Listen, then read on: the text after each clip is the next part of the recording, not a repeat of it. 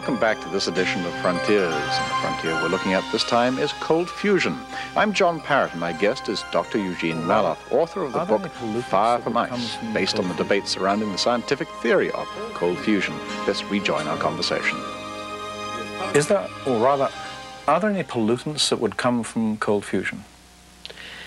Cold fusion, when it's finally understood, will probably have some types of pollutants, but they'll be very minimal. Its, its dominant effect in cold fusion is the release of energy in the form of heat. This is the extraordinary thing. There is tritium in some cases, but it's certainly not consistent in conventional hot fusion terms with the amount of energy that's being released. There's something marvelous about it which allows nuclear energy release, and if it is a nuclear process, there have to be products that we will find in, in the system. But they appear not to be, even at, the, at these rather impressive levels that have already been developed of power, uh, it appears not to be a big problem. It sounds from what you've been saying that the international community is taking this whole question of cold fusion much more seriously than, than, American uh, scientists are in the sense of its potential, in the sense of the fact that it could be there. Am I true? Is that right? I think in Japan there's a much more open view of cold fusion. Uh, there, there, it's just it's not necessarily accepted, although there have been some recent dramatic uh, changes in that direction. But I think basically it's much more easygoing in places like Japan and Italy and the Soviet Union, for that matter. Uh, India did a lot of work. There are many countries that have done work on this. It is only, it seems, within the United States and, and England also, where there has been literally a witch hunt against cold fusion. Aren't we in a way morally bound, though, to look closely at the possibilities of this for the very sake of survival?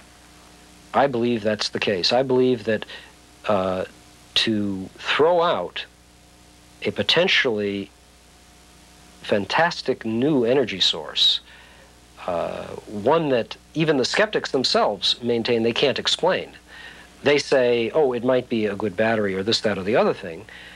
Explain it in conventional terms for me. If you can't explain it in conventional terms, there may be something even more remarkable there. It may be a new power source. They just wish it away. They say, we don't believe it, we're not going to look at it, and goodbye. Okay? Anti scientific, in my opinion. Gene, in a way, you've taken us to the boundaries in one area with cold fusion the, the possibilities, the potential is just almost perhaps beyond most of our imaginations. But what other boundaries are interesting you these days? You're not just focusing on cold fusion issues. Well, I'm interested in all aspects of science, and the, the thing that interests me the most, I believe, apart from cold fusion, is uh, the possibility that uh, civilizations other than our own may populate the universe, the galaxies in the universe, the other star systems, planets around other stars. I'm convinced they're there. I'm, I've been uh, following the interesting developments over the years in the radio search for extraterrestrial civilizations. Uh, National Aeronautics and Space Administration, as well as private foundations and individuals, have been uh, pursuing this hoping to find a radio signal that represents intelligence out there. That's fascinating to me. What do you define as intelligence then?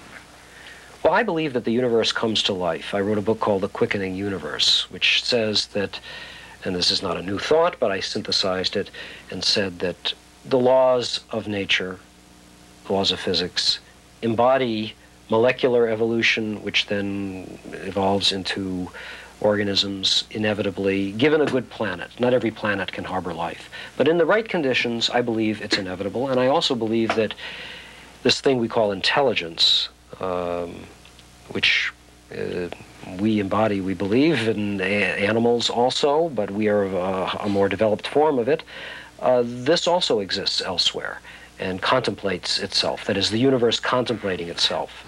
My thanks to Gene Mallove. Well, he certainly took us to the outer reaches of space and to the ocean behind me in that quarter kilometer cube of ocean water and its potential power. Utopian dream or reality? I guess time will tell. Well, if you agree or disagree or would like us to explore a certain frontier, we'd love to hear from you. Here's the address. Frontiers, the Monitor Channel, 1 Norway Street, Boston, Massachusetts, 02115. Please write. Until next time, I'm John Parrott. Thank you for joining us on Frontiers. Meantime, take care. Goodbye now.